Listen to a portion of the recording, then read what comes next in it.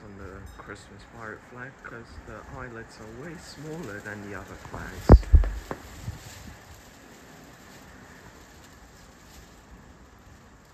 Oh my god, the camera's starting to be shaky with my fingers freezing. That's not a good idea because it's 2 degrees right now in the UK.